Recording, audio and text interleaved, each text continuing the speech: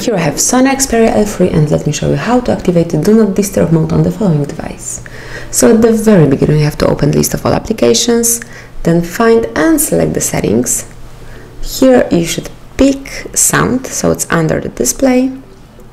And there you will find Do Not Disturb, so just click on it. And now you can select which priorities should be allowed in this mode. So if you have the mode in priority only, you can select if reminders or events should be allowed or not. Let me leave just events. Then you can allow messages. Click on it. And now you can allow messages from anyone, from contacts only, from start contacts only, or from none of above. So let me pick from contacts only and then you can allow calls so to speak calls and it's just the same story. You can allow calls from anyone from contacts only from start contacts only or from none of them. I will pick none of them. And then there's also an option named repeat callers. So if the same person calls you a second time within a 15 minute period it will allow it. So if you want to receive such call just tap on this icon and this mode will be active. So let me go back. So we've just allowed in priority only.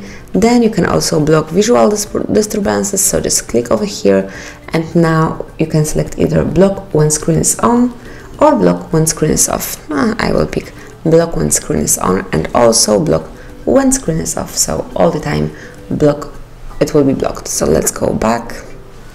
And now we can also add some rules. So here you've got the weekend weekend night event, so you can also add more let me pick time rule. Now you can name it as only you want to. Let me enter hard reset. Then tap on ok. And now we can uh, select the days on which this rule should be active. So on which day DND mode should be automatically activated. Let me pick for example Monday, Tuesday, Wednesday, Thursday and Friday, then tap on done. And finally select the period of time, so the start hour, let me pick 11 and the end hour it will be 6 a.m.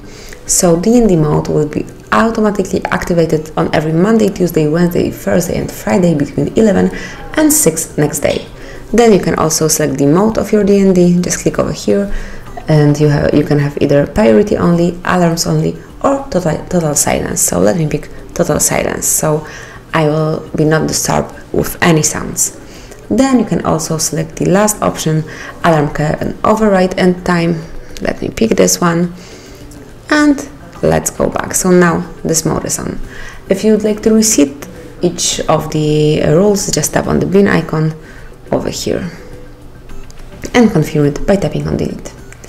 You can also have a quick access to DND mode, so just slide down the upper bar, slide twice to open it fully, and then tap on Do Not Disturb mode icon and from now on DND mode is active. If you would like to switch it off, just click on the same icon one more time. So that's it. Thank you for watching. Please enjoy your focus, subscribe our channel and leave the thumbs up.